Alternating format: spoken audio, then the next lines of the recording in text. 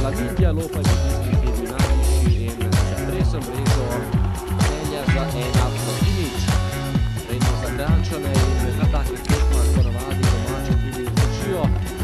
Po golu Triglava pa nekoliko podjetnejši nogometaši Celja, pravi priložnost. Krančani so tudi ekspresno odgovorili, tekla je 27 minuta, gol za gostujoče nogometaše, izvajal ga je Poplaknik, najvišji pa je bil Lamin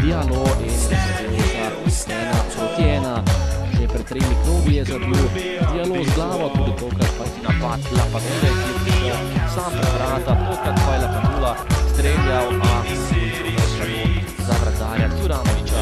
Domači so zabili, zadel je Lamin Dialo po kotu, ki je znižal na eno prvo mesto nogometaša Maribora. Tole je že peta minuta in prva akcija tekme.